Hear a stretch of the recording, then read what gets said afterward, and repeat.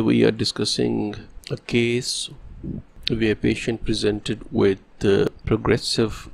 weakness of uh, eyesight. When we did his MRI brain you can see a complex mass is noted involving sella and suprasellar region. This low signal intensity area is a solid component of the lesion and uh, high signal intensity areas represent necrotic cystic component in it and on sagittal T1 weighted sequence we can see cranial extension of the lesion where it causes mass effect on optic chiasm resulting in visual symptom in this patient. Similarly on uh, coronal T2 weighted sequence we can assess both solid and cystic or you can say necrotic component in the mass. We can also see mass effect on optic chiasm cranially while we can see both cavernous sinuses and here